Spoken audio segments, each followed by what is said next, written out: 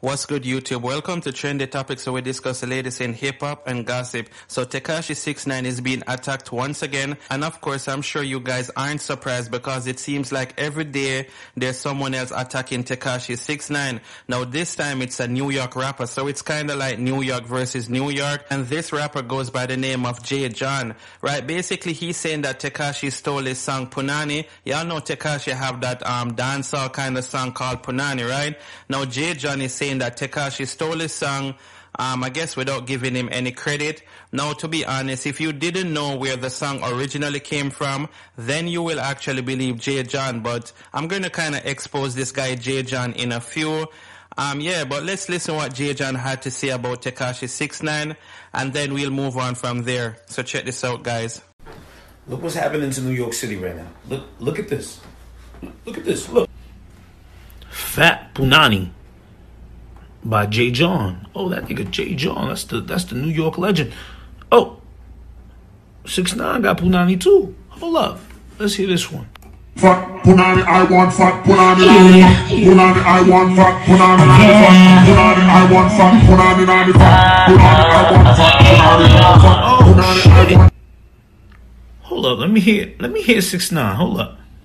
Nasty, nasty, nasty. Shake it fat, punani nani, fat punani nani, that tsunami What nami, that fuck? tsunami nami. Let me tell you something, man. Let me let me tell y'all something, man. Alright guys, so just like I said before, if you did not know where the song originally came from, then you will be agreeing with Jay John saying that Tekashi stole his song. But to be honest, this song called Punani, it's a Jamaican song and it was sung by a dancehall artist called Left Side. How do I know? Because I'm Jamaican, right? Tekashi even reached out to Left Side to make sure that, you know, he had all the necessary contracts and stuff signed. That way Tekashi didn't get sued. The guy Left Side who owned the song, he also did a, um, a Instagram live talking about Tekashi and stuff because a lot of persons were hating on him because he made Tekashi use this song. But he says he's all about that bread. He doesn't care if Tekashi is a rat or anything like that. Which to be honest, Tekashi is paying him good money for the song, so I definitely wouldn't blame him. So this guy Jay John, he can't accuse Tekashi of stealing his song when he actually used someone else's song in the first place. And I'm pretty sure that you had to ask Left Side before you even use that song. So there's many songs where rappers use, then another rapper come and use it, but the original owner of the song get credit or get money or whatever kind of deal they had. So this guy Jay John is actually lying saying that Tekashi stole his song and you can actually go look on Google if y'all don't believe me. The original song came out like over 10 years ago. I think it's like 12 years ago. Just type in left side Punani and then you'll actually hear the Jamaican version. And if you actually want, you can find the Instagram live of that person talking about Tekashi. You'll just have to type in left side speaks on Tekashi or something like that. But yeah, guys, um, but just leave your comments. Let me know what y'all think about this. What do you think about Jay John claiming that he's exposing Tekashi 69 and guys, I am not a Tekashi 69 stan. I'm just actually keeping it real because I'm pretty sure there's going to be a lot of persons out there falling for what Jay John is saying. But yeah guys, the next thing I want to talk about is rapper Lil Baby clapping back at his baby mom. Now basically his baby mother put out a video saying that he's a deadbeat, he didn't buy her a car or he's supposed to buy her a car but he didn't. You know, she's just talking down on him. Now of course, you know a lot of the females are going to come out and attack Lil Baby and that's exactly what they did till Lil Baby actually come and address the entire situation. But what I'm going to do guys is play the video of Lil Baby's baby mama speaking on the entire situation. And she even made some good points which I'm going to give her that. Like the part where she talks about COVID saying that she needs a car. That way she doesn't have to interact with a lot of persons in public transportation because obviously they have a kid um, you don't want the kid to get COVID-19 but at the same time you making a video putting it out in the public might actually make the situation worse regardless of a lot of persons agreeing with you Y'all know that Lil Baby seems like a very positive rapper. You know, he's always spitting some motivational stuff on Instagram. So, um, maybe he won't keep the car from you because, you know what? Let me just get to what she's saying. Check this out, guys. Jason, and Jason actually need a car. Like, are you gonna give us the car? Like, what's taking you so long to give us this car? But he's being him.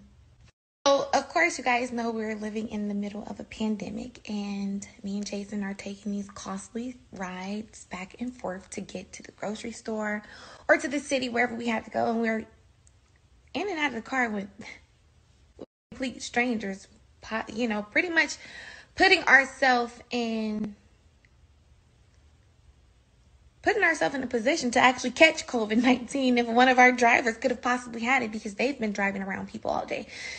Some of you may be looking at it like, well, you should get your car fixed, and that's fine, like, which is what I ended up doing. But at the same time, I'm like, do anybody look at it and be like, damn, baby, like, why you, why are you be, being petty like this? And it's like, he tries to be petty towards me, but he puts Jason in a bad situation. Like, even if you feel like Ayesha, fuck you, you don't deal with me no more. It's like, Jason is in and out of Ubers, and you offered us a car for the second time, two years in a row. Um, I do not let when he does petty shit like this, I don't let it get to me because I'm kind of used to it. Like I don't know. I really don't know what the issue could be between me and my child's father because the only thing I seriously did was leave him completely alone. Like I never wanted to beef with him or not be like the coolest friends. But our situation is kind of weird, okay? Because he, on top of how he may feel about how I kind of walked away from our situation, he also has a girlfriend that could possibly be in his ear that hates my fucking guts too, no matter how cool she try and be.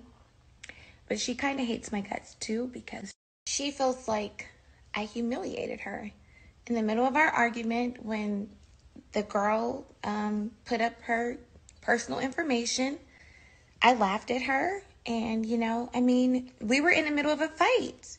She posted stripper pictures of me, so it's like she was trying to hurt me, I was trying to hurt her, and you know, we both took low jabs. But I mean, I got over it. You know, like I don't know. I feel like she's mad at me because she feels like I humiliated her. And I feel like he's mad at me because I walked away. You know, like men really have egos. Like this bitch walked away from me. Like, yeah. But point, I let her have him. I let him have her. I don't understand why we can't all be friends. so, to clear the air, I was not blowing him up to buy me a car or blowing him up, like begging.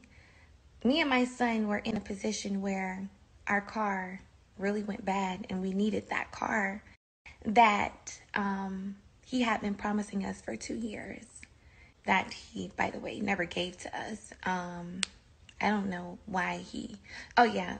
Do you guys really want to hear what happened? Okay so this is how you know Jayda is is mad and she she fishes for even though i let her have the rapper she still fishes for ways to she still wants get back from when I laughed at her.